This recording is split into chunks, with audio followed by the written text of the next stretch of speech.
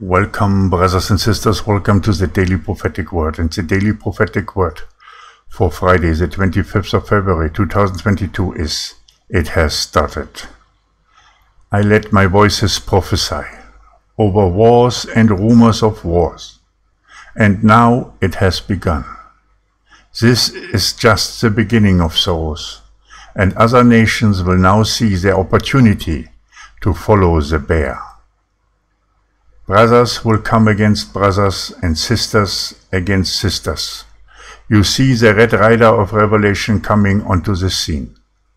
Do not be afraid, because I have prepared you well for this moment. It has started. Another war will come between Iran and Israel, and between China and Taiwan. This is a time when peace is removed from the earth. I have warned my sleeping churches but they did not listen. They never talked about prophecy or the book of Revelation, but were seeking their own glory. Now they will wake up and will see my scriptures unfolding in the next weeks and months. It has started. The world has become a different place as it was foretold, and the first attack is launched.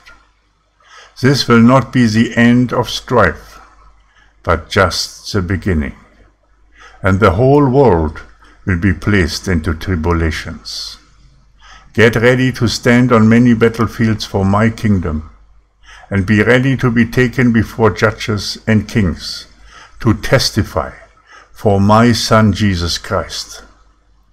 The seal tribulations have started, and you are part of it either as my harvest workers and warriors, or as the ones that will become slaves to a new Egypt.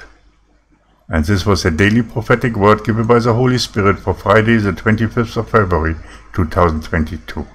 It has started. Now we see it, how quickly life can change. Stand ready.